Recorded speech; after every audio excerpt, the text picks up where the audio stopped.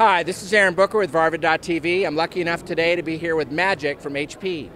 Tell me a little bit about what you do at Hewlett Packard and how you help the channel. Hey Aaron, I'm running the business development for SMB uh, worldwide, so we focus on some of the great initiatives that will help the channel partners to get knowledge much faster, to interact with HP and Microsoft much, much better, in a much better way.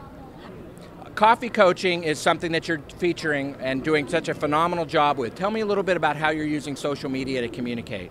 So coffee coaching is um, it's a program that we developed uh, several months ago. We started to develop several months ago. It's basically a great platform for the channel partners to learn about our products and solutions, to interact, to exchange ideas, to to maybe communicate more with HP and Microsoft, um, share their opinions, you know, and it's all in a very easy to swallow way. You know, you basically watch a five minutes video, easy to kind of uh, consume information as opposed to you know, kind of attending long webinars that some of the vendors serve our channel partners.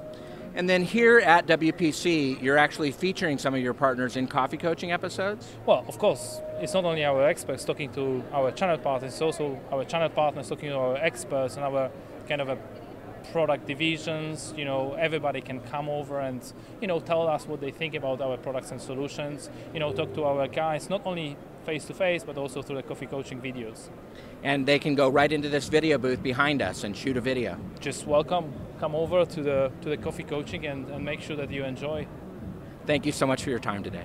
Thank you very much. And if you want to learn more about coffee coaching, go to facebook.com slash coffee coaching or just search for coffee coaching on LinkedIn or on YouTube. Thanks so much.